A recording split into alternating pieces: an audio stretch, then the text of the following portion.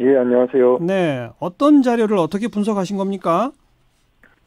예, 오늘 제가 발표한 자료는 고용부의 어, 근로 형태별 고용 실태 조사하고 예. 어, 통계청의 경제활동 인구 조사 부가조사의 2018년 자료를 이용을 해서 예. 분석을 했습니다. 그래서 2018년 최저임금 인상 이후에 임금 그렇습니다. 분포의 변화를 봤다 이거죠. 그렇습니다. 임금 분포라는 게 뭐고 어떻게 변화했던가요? 임금 분포라고 제가 통칭을 했는데 제가 보고자 했던 것은 결국은 그 임금 불평등의 변화가 어떤 양상으로 바뀌었는가를 좀 살펴봤고요. 예. 그걸 위해서는 이제 특히 저임금 노동자들의 임금이 고임금 노동자들에 비해서 어떤 식으로 변화했는지 예, 또 예. 불- 임금 진위 계수와 같은 임금 불평등 지수는 어떻게 바뀌었는지를 중점적으로 살펴봤습니다. 예. 그럼 지금 여기서 저임금 노동자, 고임금 노동자라고 하는 건 다 정규직 얘기입니까? 비정규직도 포함된 겁니까? 어떻게 되는 겁니까? 비정규직까지 다 포함되어 있고 아. 일단은 예 비정규직까지 다 포함되어 있는 모든 1인 이상 모든 임금 근로자를 다 어, 분석 대상에 포함을 했습니다. 자, 그랬더니 어떤 변화가 생겼어요? 그러니까 가장 뭐 뚜렷한 변화는 저희가 이제 그 노동자들을 임금 노동자들을 그 임금 수준에 따라 가지고 10개의 그룹으로 나누면 예. 최하 그룹과 최하 그룹에서 임금이 가장 크게 증가를 했고요. 네. 그다음 임금 수준이 높아질수록 점차적으로 임금의 증가폭은 감소하지만 그래도 예년보다는 상당히 전반적으로 좀 임금이 많이 상승한 것으로 어. 이게 기본적인 결과가 이렇게 나왔습니다. 네. 최하 그룹이 사실 최저임금에 적용 대상이 되는 그룹 아닐까요? 그렇습니다. 최하 보통 이제 1분위 저희가 이제 1분위, 2분위가 어, 임금이 가장 낮고 그다음 예. 두 번째로 낮은 집단 여기서 가장 그 임금 증가율이 높았습니다. 예. 그래서 이것은 역시 이제 최저임금이 작년에 좀 대폭 인상과는 좀 떼놓고 생각해 볼 수 없을 것 같습니다. 예, 예. 그런데 그러면 최저임금과 바로 직결되는 최하위 1, 2분위의 임금이 대폭 올랐더라는 금방 이해가 됩니다. 근데 그 네. 윗단계, 뭐 3, 4분이나 그 윗단계 임금도 올라갔어요? 예, 올라갔습니다. 올라간 게 확인이 됐는데 왜 어. 그러냐면 임금이라는 건 아시겠지만 일종의 위계 구조를 가지고 있습니다. 그러니까 예, 예.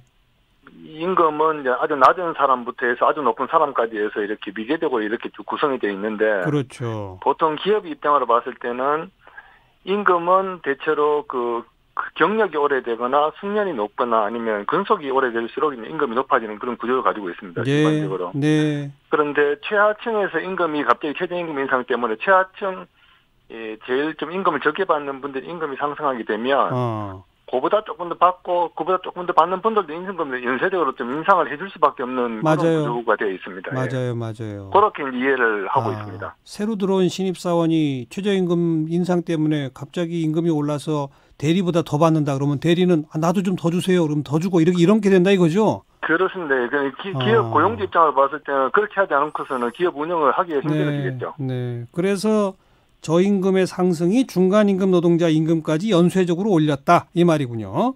예, 그렇습니다. 그럼 최상층 그 고소득 이 노동자들도 임금 올라가지 않았나요?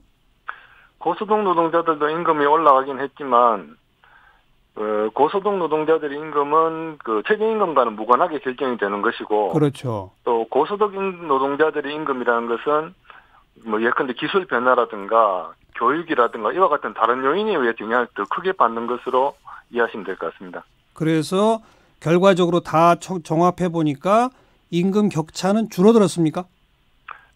예, 그, 그, 임금 격차는 줄어들었고, 아, 그 다음에 전체적으로 임금 불평등 등도 완화가 되었습니다. 네. 그 격차가 줄어드니까 불평등 완화 같은 얘기죠. 그 조금 다르긴 한데요. 그 결과적으로 뭐 유사한 얘기입니다. 예. 네, 네. 우리 김준영 팀장은 이제 요 대목만 즉 임금 분포 변화만 주로 연구하셨는데 오늘 토론회에서는 이제 고용에 미칠 영향 같은 것도 발표가 있었지 않습니까? 예. 최저임금의 급격한 인상이 고용에 악영향을 줬다는 맞나요?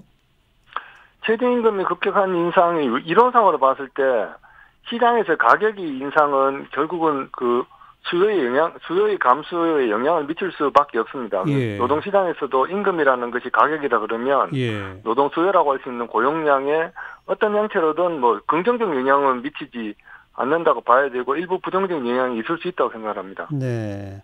그래서 최저임금 인상은 일자리는 조금 줄였다. 그러나 그래도 일자리를 갖고 있는 사람들이 임금을 올려가지고 임금 격차는 줄였다. 이거 아니겠습니까? 일자리를 줄였다는 것은 아직 통계적으로 확인 안 되고 있고 그 어. 대신에 그 노동 시간을 줄이는 거는 좀 맞는 것 같습니다. 아, 일부에서. 아하. 그러니까 인력 자체가 감소했다기보다는 예. 노동 시간이 좀 감소를 했, 했는 것으로 예. 현재까지는 그렇게 진행이 되고 있는 것 같습니다. 즉 시간당 시급이 올라가니까 아예 사람 고용 자체를 뭐 안 할 수는 없지만 그냥 좀 초단기. 초단기 고용 이런 식으로 변화했다. 그렇죠. 그- 아니 그런 건 아니고 예를 들자면 지금 음식점업 같은 경우에는 예전과는 달리 왜낮 시간에 쉬는 음식점이 되게 많이 늘어났습니다. 많아졌죠. 네. 예, 근데 네. 그게 이제 일종의 최저임금 인상에 대응하기 아. 위한 그 음식점 업주분들이 어떤 어떤 비용 절감에 대한 대응이라고 할 수 있을 것 같습니다. 네. 그래서 오늘 고용노동부 그 주최 최저임금 관련 토론회에서 무슨 결론을 내린 게 있나요? 내년부터 최저임금은 어떤 방향으로 가자라든지 이런 결론이 있었습니까? 뭐 여러 가지 얘기는 있었는데 오늘 그 자리가 내년도 최저임금의 어떤 어떤 몇 퍼센트 내년도 최저임금 어느 정도 수준을 올릴 것이냐에 대해서 논의하는 자리는 아니었고 네, 네. 뭐 전반적으로 이제 현재의 경기적 상황이라든가 또 작년 재작년에 좀 최저임금이 상대적으로 조금 급격히 오르다 보니까 음흠. 조금 좀 속도 조절은 필요하지 않느냐라는 예. 뭐 이런 의견들도 있었고 예. 뭐 여러, 여러 가지 의견들이 있었습니다. 예. 알겠습니다. 일단 임금 격차가 분명히 줄어들더라라는 거는 수치상으로 확인이 된 거니까 그 외에 이제 예. 나머지 어, 근로 시간을 줄인다든지 자영업자들의 과중한 부담 이런 것들에 대한 후속 대책들을 함께 강구해야 되겠군요. 네. 여기까지. 말씀 오늘이- 네. 예. 말씀하세요.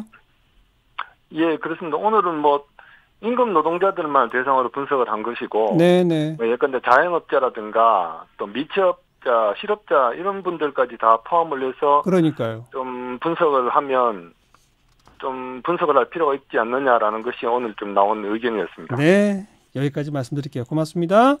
감사합니다. 한국고용정보원의 김준영 고용동향 분석팀장이었어요.